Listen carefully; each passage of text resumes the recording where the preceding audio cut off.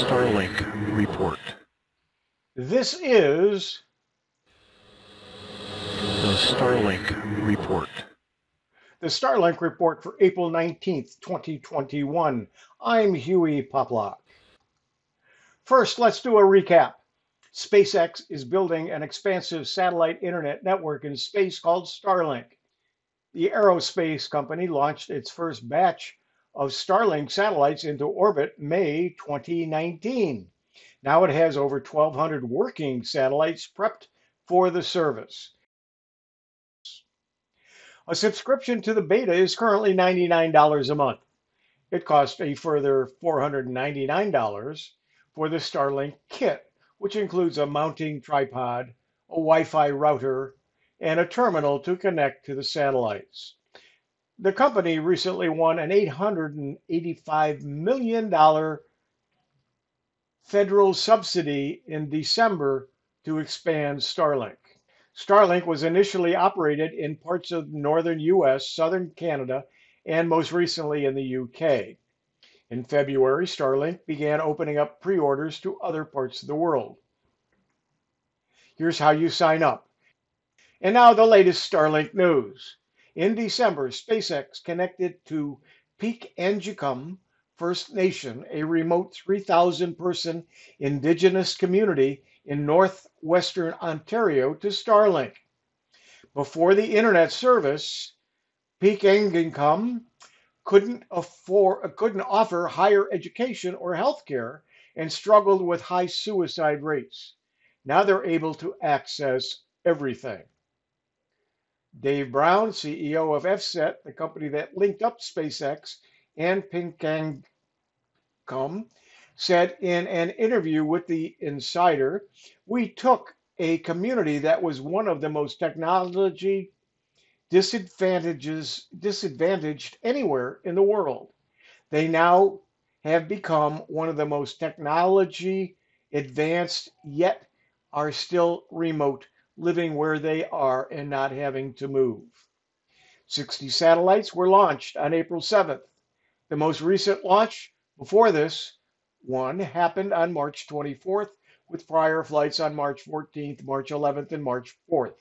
That pace intentionally fast since SpaceX has said it aims to launch a total of 1,500 Star- Starlink satellites over the course of the calendar year. On April 28th, a SpaceX Falcon rocket will launch the 25th batch of approximately 60 satellites for SpaceX's Starlink broadband network, a mission designated Starlink version 1.0 L24. In total, SpaceX has now launched 1,443 satellites for its Starlink constellation. SpaceX recently signed a new agreement with NASA that outlines how the two organizations will avoid close approach or collision events between their respective spacecraft. And SpaceX President Gwynne Shotwell said on Tuesday that the aerospace company has reduced the cost of each Starlink terminal from $3,000 to $1,500 each. Starlink customers have to pay $499 for the kit which includes the user terminal, also known as dish sheet, indicating that SpaceX is covering the remaining cost of $1,000 for each one it produces. The company also just rolled out a new version that saved about $200 off the cost and is expecting the price of each terminal to reduce to the few hundred dollar range within the next year or two, according to Shotwell. Here's what it looks like what early users of SpaceX's Starlink satellite internet think about the service, the speed, and more. Tech for Seniors regular Greg F. has been getting download speeds from 28 megabits per second to over 200 and upload speeds of around 11 megabits per second. That's his antenna on top of his roof. To get real life first impressions of the service, CNBC spoke to more than 50 people who have been using Starlink. Those surveyed included households in Canada and 13 U.S. states. The majority of these Starlink users are in rural or remote areas, such as far- farmland or wilderness, with limited access to terrestrial broadband options and a few with no access altogether. This is a quote I expect to keep the service at long term, a user in Montana told CNBC. The price of the beta for the service is more reasonable than any other option we have, and those are worse in performance. I will keep Starlink as long as it's the only broadband option available to me. Most users found the service's monthly price of $99 to be fair, and oftentimes a discount to other satellite broadband services and terrestrial options, especially given the average speed of Starlink's service. SpaceX President Gwynne Shotwell last week said the company does not plan to add tiered pricing to, con- to customers, emphasizing that it wants to try to keep it as simple as possible and transparent as possible. Barring a massive hailstorm, I don't see much hurting this thing at all, one user said. The SpaceX made sure to design the Starlink satellite dish to work in wintry and wet climates by building a heater into the dish itself. As a result, the dish can melt away any ice around it. Another quote The hardest part was getting up on the roof, mounting the dish, and running the wire from outside to the inside of the house, a Colorado user said.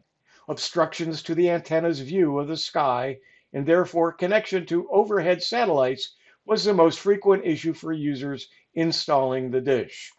A mobile application for Starlink users includes an augmented reality feature to check for obstructions and help find the right place to install the antenna. A quote, my trees are really tall, and I underestimated the need for the Starlink's obstruction detecting app to really show zero trees, a user in Oregon said. The installation process and the apparent lacking of grounding for lightning in the equipment was a concern for a California user. Those of us in Florida will be concerned about that as well, as we are the lightning capital of the world. CEO Elon Musk confirmed the news on Twitter Thursday. Yeah, uh, quoting, Starlink should be fully mobile later this year, so you can move it anywhere or use it on an RV or a truck in motion, he said. We need a few more satellite launches to achieve complete coverage, and some key software upgrades, Musk added in his tweet. Musk also tweeted that Starlink would probably exit its beta this summer. Musk also tweeted Friday that Starlink's service uptime, bandwidth, and latency are improving rapidly. In February, Musk commented that Starlink internet speeds would double and latency would drop by the end of 2021. Starlink subscribers were getting faster internet than SpaceX said they should expect. Even in the freezing temperatures, high winds, and snow, Starlink has hit speeds of 175 megabits per second, users told Insider. To repeat, users also emphasized a key point that SpaceX itself has said, which is that the service is a boon for those in rural areas, but not a replacement for the existing internet service of people in cities.